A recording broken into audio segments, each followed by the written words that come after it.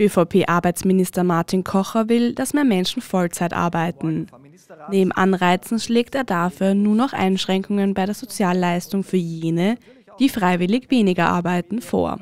Darauf reagieren viele, wie zum Beispiel SPÖ, FPÖ und die Gewerkschaft, empört. Kocher versucht dann seine Aussage beim Ministerrat am 15.02. noch einmal zu kontextualisieren. Es sei ihm nicht darum gegangen, Sozialleistungen und Familienleistungen zu kürzen, meinte der Minister. Es war auch wichtig, ganz klarzustellen von Anfang an, dass natürlich nie die Intention der Debatte war, äh, dass Frauen, Müttern etwas weggenommen wird, Familienleistungen, Sozialleistungen gekürzt werden. Äh, Mütter und Frauen sind tabu.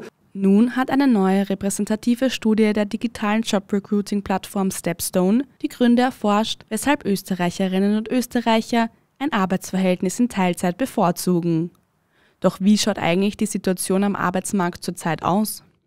Wir haben ja aktuell die Situation am Arbeitsmarkt, dass das Thema Arbeitskräftemangel immer stärker wird. Ähm, die Erwerbsbevölkerung schrumpft, weil mehr in Pension gehen als nachkommen. Auf der anderen Seite sehen wir aber, dass die Menschen am Arbeitsmarkt eher die Tendenz haben oder den Wunsch, weniger zu arbeiten. Das spießt sich natürlich ein bisschen.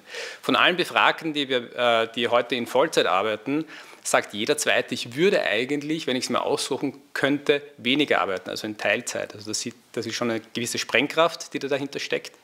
Doch was sind die häufigsten Gründe, warum Menschen lieber in Teilzeit arbeiten möchten?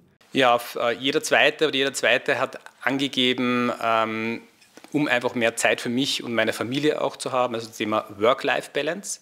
Es gibt aber auch äh, viele Menschen, die würden durchaus gerne länger arbeiten, können es aber nicht. Äh, jede dritte, vor allem Frauen tendenziell, haben gesagt, ich würde gern mehr arbeiten, ich habe aber die Betreuungsmöglichkeit nicht für meine Kinder das wäre also ein großer Hebel auch im positiven Sinne.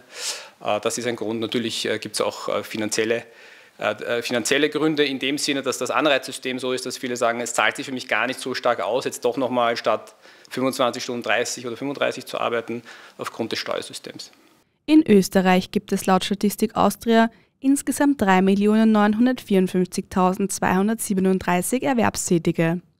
Davon sind 2.594.441 Personen in Vollzeit beschäftigt.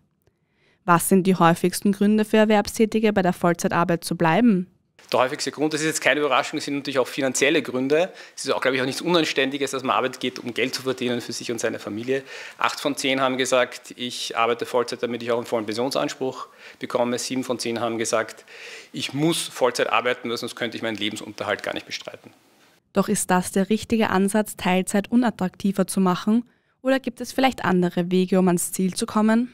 Mein Vorschlag wäre bevor man jetzt negative Anreizsysteme setzt, zu schauen, was kann ich eigentlich positiv bewegen. Jede zweite Frau in Österreich arbeitet aktuell in Teilzeit und jede dritte von der sagt wiederum, ich würde ja mehr arbeiten, aber ich, mir fehlt die, die, die, Betreuung für meine Kinder. Also das ist ein riesiger Hebel, ähm, den sollte man zuerst einmal in Bewegung setzen. Alles, was dazu führt, dass auch die mentale äh, Gesundheit und körperliche Gesundheit erhalten bleibt der Mitarbeiter, nicht nur seitens des Staates, sondern auch seitens der Unternehmen, würde auch dazu führen, dass mehr Menschen in Vollzeit oder länger arbeiten. Also zuerst mal diese positive Hebeln benutzen und was jetzt steuerliche Anreizsysteme betrifft, könnte man ja auch an ein positives Anreizsystem denken, jetzt nicht die zu bestrafen, sozusagen die weniger arbeiten, sondern die zu belohnen, die mehr arbeiten und äh, hier mit den Einkommenssteuerklassen in den höheren Regionen zu arbeiten, dass, sagen, dass, die Leute sagen, ja, das zahlt sich jetzt wirklich aus, ich arbeite wirklich Vollzeit, da bleibt auch mehr im Börsal. Kocher geht es vor allem um die Zukunft Österreichs. Man müsste im Arbeits- und Wirtschaftsministerium darüber nachdenken, wie man es über öffentliche Maßnahmen schaffe, Wohlstand zu erhalten.